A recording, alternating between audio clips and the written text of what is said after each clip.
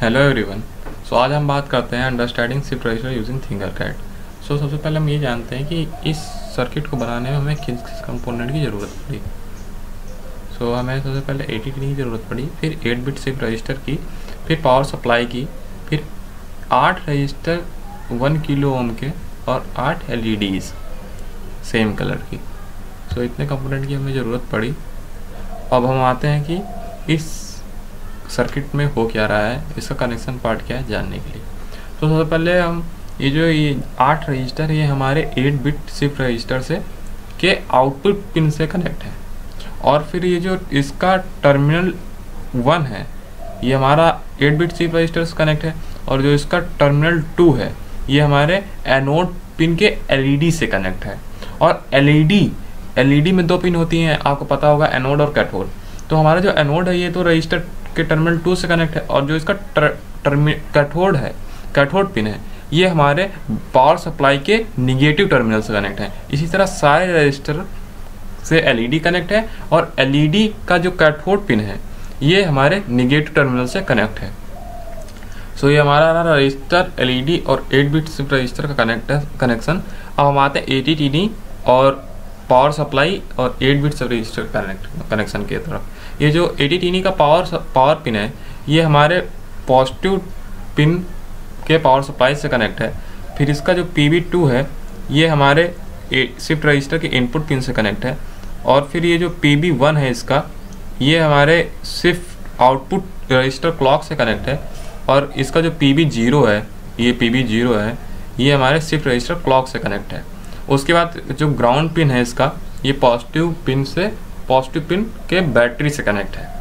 सो so, ये हमारा रहा ए टी और पावर सप्लाई 8 बिट से रजिस्टर कनेक्शन एक एक पिन बची थी जो 8 बिट से रजिस्टर क्लियर है ये हमारे पॉजिटिव पिन से के बैटरी से कनेक्ट है। सो so, हमारा ये रहा कनेक्शन पार्ट अब हम चलते हैं कोड की तरफ़।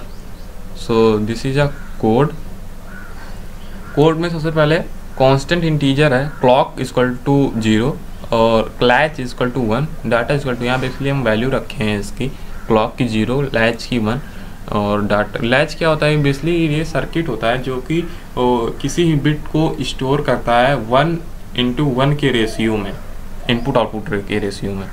सो so, उसके बाद हम आते हैं वाइट सेटअप पे। वाइट सेटअप में pin mode clock output pin mode latch is output pin mode data तीनों पिन हमारी आउटपुट आउटपुट पिन है।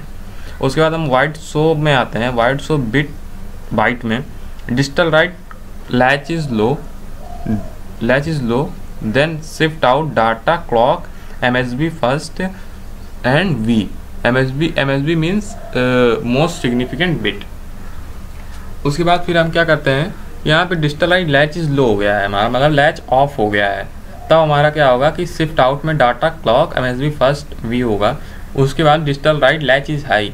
जब हम ये शिफ्ट आउट की कंडीशन अप्लाई कर देंगे तो हमारा लैच हाई हो जाएगा मतलब हमारी एलईडी जल जाएँगी। ठीक है? उसके बाद हम वाइड लूप करते हैं कि कितने वाइड लूप हम बेसली तब लगाएँगे कि कितने ड्यूरेशन के बाद या फिर कितनी देर बाद हमारी एलईडी जले।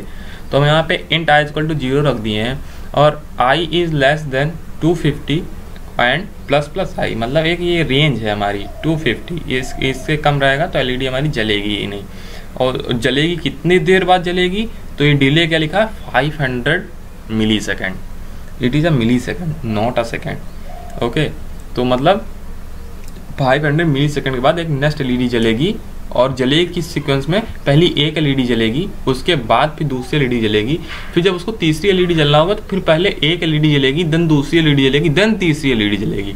फिर उसके बाद जब वो एलईडी फोर्थ पे फोर्थ पोजीशन पे आ जाएगी तो इसी तरह फिर पहली एलईडी जलेगी देन सेकेंड जलेगी देन थर्ड जलेगी देन फोर्थ जलेगी, उसके बाद देन फिफ्थ जलेगी, इस सिक्वेंस में जलेगी। सो हम अभी सेमुलेशन पार्ट देखते हैं उसमें क्लियर हो जाएगा अभी सब कुछ। तो जैसे हम इसको सेमुलेट करेंगे ये हमारा पावर सप्लाई ऑन हो गया है करंट फ्लो होने लगा है सर्किट में। सो हम देख रहे हैं कि एक एलईडी जली फिर दूसरी जली फिर तीसरी जली फिर फोर्थ पहुँची। और फोर्थ पहुँच गया फिफ्थ पे आ गई। अब फिर एक पहली जलेगी दूसरी जलेगी फिर तीसरी जलेगी।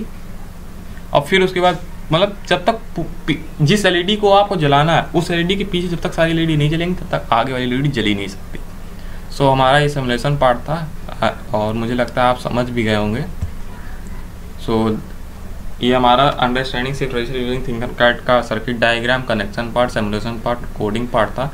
और मुझे लगता है आपको ये अच्छा लगा होगा। धन्यवाद।